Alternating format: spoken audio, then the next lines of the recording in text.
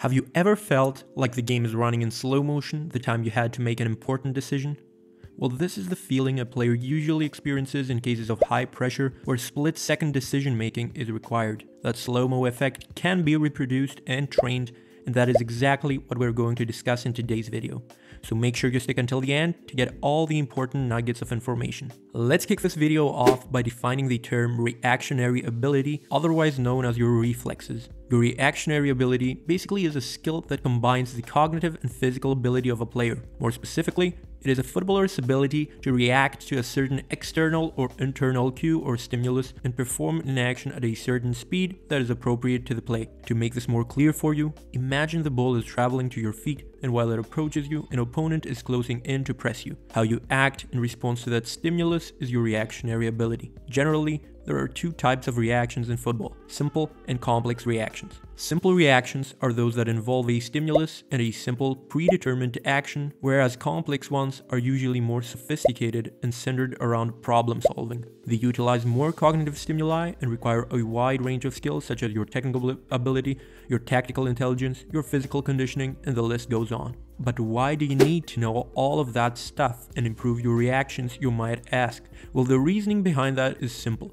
Football has changed. The speed of play has changed. Everything is getting faster and faster.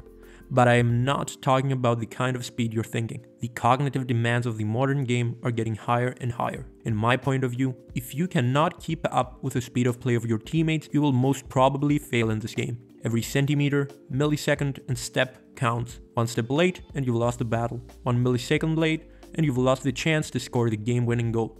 This is modern football. Those marginal wins are what you should be after. Of course, I am not saying that your reactionary ability is the end all be all answer to performance, but it definitely is a really important part of the speed of play equation that is present in each action and decision you take. What this essentially means is that your speed of play is dependent on your decision making ability, or more specifically on the perception action coupling principle. And as you understand, this principle is heavily relying on your cognitive ability. That's why we have to look at it holistically and understand that cognition without action is nothing. Now, according to Vladimir Zatsiorsky, there are five phases during the reactionary process. Phase number one consists of the appearance of a stimulus or cue to the sensory organs. Then, the central nervous system gets stimulated. As a result, a stimulus gets created which is then sent to your brain through your nervous system to create a command. This command is then sent to the appropriate muscles through the CNS. The muscles are finally stimulated by the command and movement is produced. In other, more simple terms, this process can be broken down into three actual phases, the perception phase, the processing phase, and the action phase. All of these processes happen within split seconds during sports,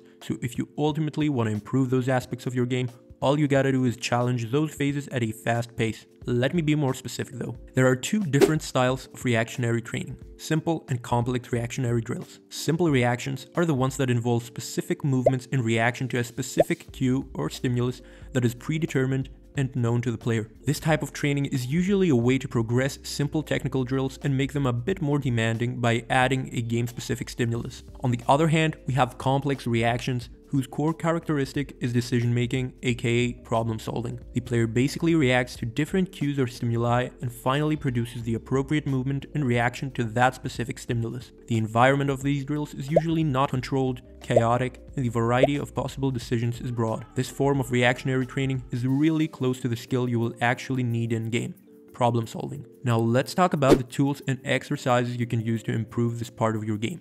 First of all, cognitive training is based on stimulating the primary sensory organs of your body, your eyes and ears. As a result, we already have two simple reactionary training types, visual and auditory training. Both your eyes and ears play a crucial part in the problem solving process as both of these systems are delivering information to your brain. Without that information, your brain won't be able to produce appropriate actions. There are various ways you can start implementing visual as well as acoustic cues and stimuli to your training. For example, you can use visual stimuli like pointing directions with your arms, colored items such as cones, arrows showing a specific direction, numbers, or even a ball. Virtual reality and other tech companies and apps are also joining the party and I'm so excited to see how this field is going to evolve in the future. You might as well include verbal cues to further increase the cognitive demands of a drill and make it a bit more realistic. This includes verbal cues like directions, colors, numbers, game realistic phrases such as man on, acoustic signals like claps or whistle blows, and the list goes on. All of those visual and verbal cues we mentioned can be used to create simple reactionary drills. However, you shall also consider other forms of training that consist of complex reactions. Complex reactionary drills are the ones where the player's problem solving ability is constantly being challenged.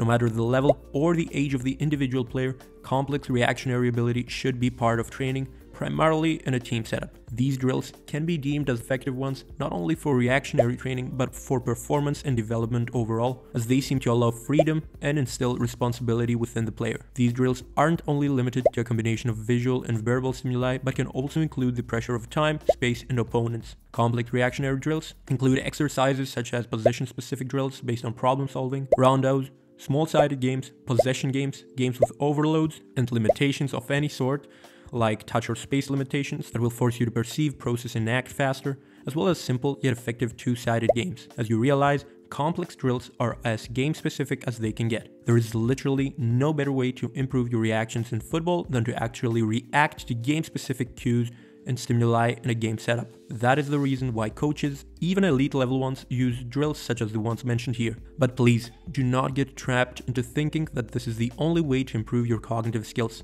As we mentioned, you need to include variety in your training and diversify your approach. Let me be more specific though and offer you a realistic and progressive plan. The first thing I would like to address is that you simply need to build the fundamentals first as early in your career as possible. There is really no point in investing all of your training hours into cognitive training if you're lacking basic elements of the game. Once you build the foundation, you can then start to progressively use cognitive training to further increase the demands of your drills and sessions. Start off by adding simple reactions here and there and progressively build your way up the more solid your base of skills becomes. But be careful and don't fall into the sport specificity trap. Not every drill you do must consist of a cognitive stimulus. Now the style and dosing of those exercises is completely up to you, your coach and your development stage. In fact, if I were to structure a technical training session with a group of players, I would probably start off with plain and repetitive technical work. I would then progress those technical training drills by adding some cognitive components to the exercises and probably finish off with some game specific drills such as small sided games or position specific drills with added visual or verbal stimuli to challenge their problem solving skills they need in their position. Having said that,